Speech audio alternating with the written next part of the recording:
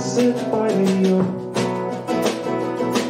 You look at me with a quiver on one ear and a brown blue eye stare. I don't know what I'll do.